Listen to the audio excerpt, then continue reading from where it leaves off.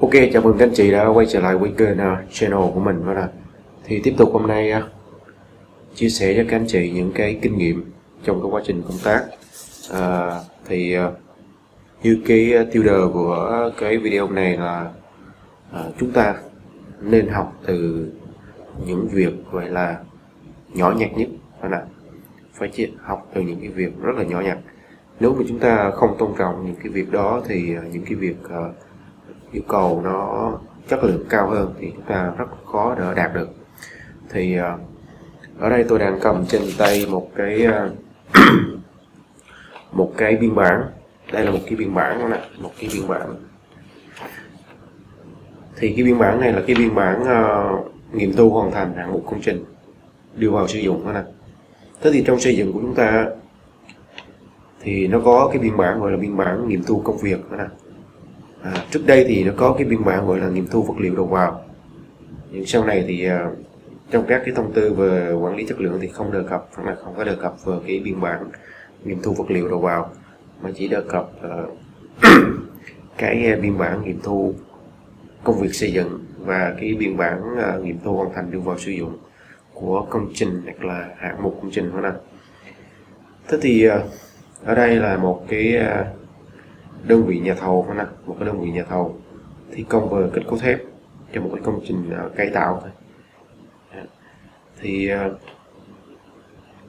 ở đây cái phần mà đối tượng nghiệm thu á à, thì anh ghi là, là gia công lắp dựng kết cấu thép rồi anh lại mở ngạch hoàn thành 100% thế thì tại sao tôi nói là chúng ta nên học từ những cái việc nó nhỏ nhất phải nè rõ ràng khi ghi một cái biên bản mà một người là đóng một cái vai trò là tầm phải là chỉ huy trưởng một người đóng vai trò tầm là phải là chỉ huy trưởng hoặc là điều phối một cái à, gói thầu cũng hai ba tỷ.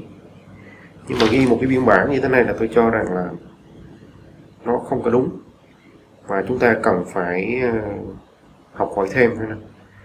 thì à, một cái biên bản nghiệm thu chúng ta cũng có thể tham khảo ở trong cái, cái nghị định về hướng dẫn về công tác quản lý chất lượng thi công rồi là bảo trì ha. Thì chúng ta xem thì chắc chắn nó có một cái phần nó có những cái quy định gọi là cái thành phần của một cái văn bản nghiệm thu của việc xây dựng là gì rồi là thành phần của cái biên bản nghiệm thu hoàn thành hạng mục hoặc là công trình đưa vào sử dụng đó nè. Thì cái đối tượng nghiệm thu thì chúng ta cũng cái câu này tức là chúng ta hiểu rằng là gì? Ví dụ như cái biên bản của chúng ta là biên bản nghiệm thu công việc uh, hoặc xây dựng đi phải không? Thì cái đối tượng nghiệm thu là gì? Đối tượng nghiệm thu là cái công tác gia công. Ví dụ như tôi ở đây là nghiệm thu công tác đổ bê tông móng chẳng hạn. Đổ bê tông móng. Còn nếu như mà đổ bê tông móng nó phân là nhiều đợt thì chúng ta ghi là đổ bê tông móng trục máy tới trục máy đó ta ghi ra còn hoặc là cốt pha công tác gia công lắp dựng cốt thép cột đi. Hả cột tầng mấy? Chúng ta ghi ra thôi nè. Chứ chúng ta không thể nào ghi xong chúng ta phá một câu rồi là hoàn thành trăm phần trăm. Nè cái cái vụ hoàn thành một trăm một trăm ờ, hay là hoàn thành một trăm phần trăm nó giống như là một cái anh tự đưa ra rồi anh tự khẳng định luôn. Anh tức là anh đồng anh vừa đưa ra là anh khẳng định là cái của anh đã xong rồi. Thế là nó chưa cần phải sự xác nhận của các ông ở trên tham gia vào cái biên bản này à. rồi là ký một cái là các anh chị xem. Ký một cái biên bản mà ở sau thì ký nè các anh tư vấn thì cũng ký vô luôn. Tư vấn giám sát. Tư vấn giám sát gọi là thiết kế của nè. Cũng ký vào nhưng mà cũng uh, trong cái phần ờ, uh, đại các thành phần tham gia nghiệm thu thì cũng không ghi tên tuổi đơn vị tư vấn ông này ông kia nhưng mà cuối cùng ở dưới uh, ờ, cuối biên bản xác nhận thì có ký xác nhận. Đó. Thì tôi nghĩ rằng là những người mà ký một cái biên bản mà lại không có tức là ở phần đầu là không có điền đầy đủ thông tin nhưng mà ở sau thì ký vô thì tôi cho rằng là những cái anh chị nào là ký cái biên bản là rất là gọi là không quan tâm hết nè không quan tâm ký để làm gì chỉ có những người như vậy thì họ mới không xem thôi. Chứ còn phần lớn là nếu như anh chị nào mà ký biên bản thì đều xem xem lướt qua nè xem lướt qua và à, những cái thông tin thiếu họ sẽ yêu cầu bổ sung. À, tôi lấy ví dụ như ở kia đơn vị tư vấn này ở sau thì ký ghi rõ họ tên nhưng mà cái phần thành phần tham gia thì không ai ghi vô. Đó nó cũng là một cái gọi là thiếu sự quan tâm cho những cái công việc nó đơn giản những cái công việc nhỏ nhặt.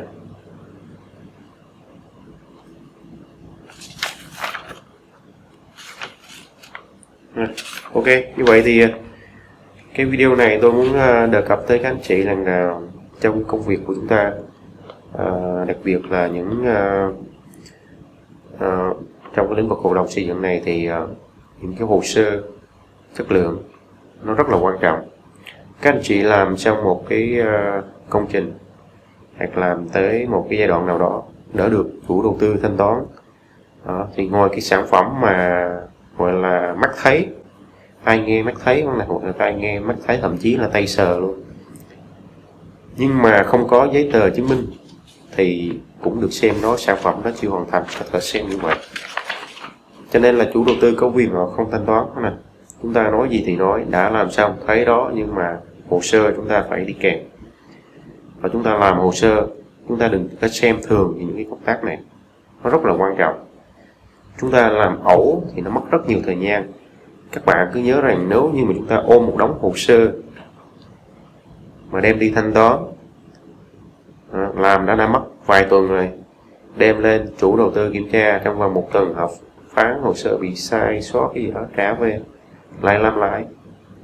Và lại bắt đầu nộp nữa. Cứ như thế nó sẽ mất một đến hai lần review như vậy thì nó sẽ kéo dài cái thời gian và nó ảnh hưởng đến cái vấn đề chi phí thu của à, công trình của các anh chị. Nếu mà các anh chị đóng vai là nhà thầu thi công thì anh sẽ nó sẽ mất thời gian cái việc mà thu tiền về phải không thì uh, công tác uh, hồ sơ trên công trường thì nó rất là quan trọng nhưng mà à, như tôi nói rằng nếu như các anh chị muốn thanh toán thì các anh chị phải có hồ sơ. Mà gần như hiện nay ấy, thì tôi quan sát thấy cũng có khá nhiều các công ty uh, không quan tâm đến vấn đề này. Đa phần thì cứ tìm kỹ sư ông này ông ý trưởng này ông hiện tài rất là cao siêu về nhưng mà cứ lo những cái chuyện gọi là thi công nhanh rồi ừ, hối thúc đôn đốc rồi tìm biện pháp giảm tiết tiết kiệm rồi chi phí rồi các kiểu nè nhưng mà làm gì làm. Sản phẩm nữa nói tay nghe, mắt thấy thậm chí là tay sợ nhưng mà không có hồ sơ thì tôi còn coi nó là chưa xong, chưa đạt, chưa có cái khối lượng. Thì cũng có thể là tôi từ chối thanh toán chủ tư có quyền từ chối thanh toán thôi. Do vậy chúng ta phải làm gì là phải đẩy. Ở công trường chúng ta phải đẩy cái hồ sơ đi theo thôi nè nghiệm thu tới đâu là chúng ta ngày hôm sau phát hành văn bản cho đơn vị giám sát, chủ đầu tư, đơn vị tư vấn giám sát ký ngay đó. rồi tới đợt thanh toán thì chúng ta chỉ cần tổng hợp lại thôi. Đó.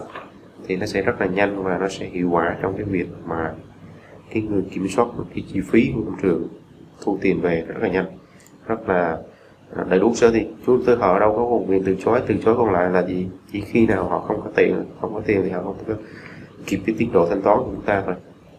Ok. Như vậy thì cái ờ, video thì tôi mong muốn rằng các anh chị nên uh, thông qua cái cái video này thì mong rằng gửi đến các anh chị những cái thông điệp của chúng ta nên uh, cố gắng uh, làm được những cái việc nhỏ nhưng mà chúng ta cũng phải quan tâm chú trọng. À, nè, quan tâm chú trọng. Cái công việc đó nó sẽ chất lượng. Hơn. nè. Ok. Cảm ơn các anh chị rất nhiều.